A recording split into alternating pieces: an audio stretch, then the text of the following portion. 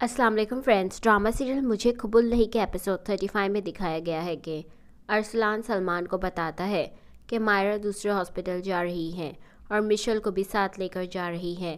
खैर, इन औरतों की वजह से हम भाइयों में दरार नहीं आनी चाहिए।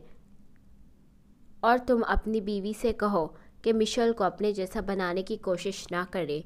फिर सलमान मायरा के घर आता है और पूछता है, तुम भी बता कर भी जा सकती थी ना? तुम किसी और दूसरा डॉक्टर को क्यों गई? मुझे तुम्हारी और बच्चे की बहुत फ़िक्र हो रही है। फिर मायरा बताती है, मैं स्लिप हो गई थी। बाथरूम में इसकी वजह से गई थी। फिर सलमान कहता है, तुम घर वापस चलो। फिर दादी और अम्मी दोनों मिशल को कहती हैं, तुम दोनों का यहाँ इतने दिन रहना ठीक नहीं है। मिशल कहती है, लेकिन दादी, मैं घर वापस गई तो अरसलान कहेंगे कि चलो डॉक्टर के पास टेस्ट करवाओ। मैं उनको ज़्यादा दिन तक रोक नहीं पाऊँगी। फिर मायरा कहती है, अम्मी, मेरा ख्याल है मिशल को अरसलान भाई को सब सच बता देना चाहिए। अगर मिशल माँ नहीं बन सकती तो इसमें मिशल का क्या कसूर है? फिर मायरा सलमान को कॉल करती है, मैं कल आने का सोच रही हूँ। तुम कल लेने आ जाओ और शायद मेरे साथ मिशल भी आ जाएगी। फिर मिशल को भी बताती है। फिर मिशल मायरा को कहती है, तुम सच कह रही हो। मुझे अरसलान को सब सच बता देना चाहिए। मायरा अरसलान को बच्चे बहुत पसंद है। मैं जब उनको बताऊँगी कि मैं उनकी ज़िंदगी की सबसे बड़ी खुशी मैं उनको कभी नहीं दे सकती, मुझे बिल्कुल अंदाज़ा नहीं है कि वो कैसे रिएक्ट करेंगे। मायरा मुझे बहुत घबराहट हो रही है, बहुत डर लग रहा है। फिर दूसरे दिन अरसलान और सलमान दोनों मायरा और मिशल को लेने आते हैं। वो दोनों वापस चले जाते हैं। फिर मिशल बहुत परेशान रहती है। अरसलान को बताने के लिए और नींद में ख्वाब देखती है, अरसलान ने उसे छोड़ दिया है। वो घबरा कर उठती है। उसे बुखार आ जाता है। अरसलान उसे टैबलेट्स देता है और अपनी अम्मी से बताता है। फिर मिशल किचन में आती है। रमशा उसे बातें सुनाती है और समन कहती है, मिशेल, तुम्हारी तबीयत ख़राब है तो मैंने ये समझा कि तुम भी मायरा की तरह खुशखबरी देने वाली होगी। खैर, ये तो अल्लाह की मर्ज़ी है, जब जिसको चाहे नवाजे। और बताती, सलमान घर में कुरान खानी करवा रहा है। नाराज़ बीवी को मना के लाया है ना इसीलिए।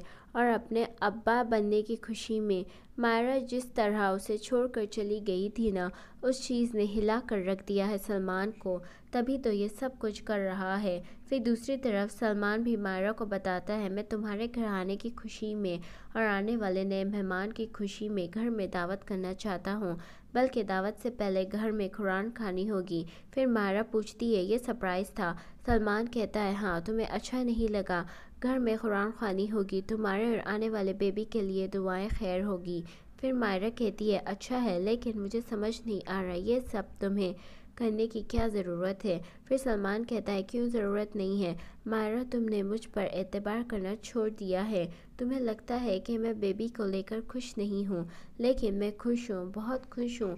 और मैं चाहता हूँ कि तुम भी मुझसे डरना छोड़ दो। मुझ पर एतबार करो। मैं सचमुच तुम्हें एक अच्छा शोहर बन के दिखाना चाहता हूँ और अपने बच्चे के लिए बेहतरीन बाप। तुम बस मुझसे नाराज़ मत होना। जो भी हालात हो, मेरे साथ कंधे से कंधे मिलाकर खड़ी रहना। मुझे छोड़कर मत जाना प्लीज़ वादा करो मुझसे, मायरा। सलमान के ये रवैया देखकर हैरान हो जाती है। फिर सलमान अपने अब्बा के पास आता है और कहता है, देखो अब्बा, कुरान खानी दावत पर सिर्फ़ तीस से पैंतीस हज़ार रुपये लगेंगे। ये पैसे तो लिफाफों में आ जाएँगे। अब मेरी बात गौर से सुनो।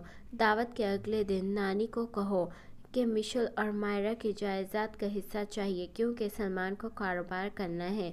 फिर अब्बा कहता है, पहले भी बात की थी ना, कुछ नहीं कहा, तेरी नानी ने और कह रही है, तुम मरने के बाद बेच लेना। सलमान कहता है, कैसे भी करो अब्बा, मैं इतना इंतज़ार नहीं कर सकता। फिर दूसरी तरफ़ नुदरत के घर नजीब साहब आते हैं। नुदरत कहती हैं, आपको यहाँ आना नहीं चाहिए था। फिर वहाँ अम्मी आती है और नजीब साहब से कहती है, आपकी हिम्मत की दाद देनी चाहिए। फ़ोन पर बात करने के बावजूद आप घर तक चले आए। फिर नजीब साहब कहते हैं, आपने उस दिन मेरी बात सुनी नहीं थी, इसीलिए अपनी बात कहने घर तक चले आया। माँ जी, मैं आपसे आपकी बहू का रिश्ता मांगने आया हूँ। ये मुझे बहुत अच्छी लगती है। ये सुनकर अम्मी बहुत गुस्सा हो जाती हैं। जो आप चाहते हैं, इसे तो हमारी ज़मीन आसमान एक हो जाएँगे। रुद्र दो दो बेटियों की माँ है और बहुत जल्द नानी बनने वाली हैं। हमारे यहाँ नानी और दादी बनने वाली औरतों की शादियाँ नहीं होती। चाहिए कोई और घर तलाश कीजिए, कहकर चली जाने वाली रहती हैं। फिर नजीब साहब रोक कर कहते हैं, माँ जी, मैं आपसे अपनी बात एक बार फिर कहना चाहता हूँ। मैं आपसे आपकी बहू का नहीं, आपकी बेटी का हाथ माँगता हूँ।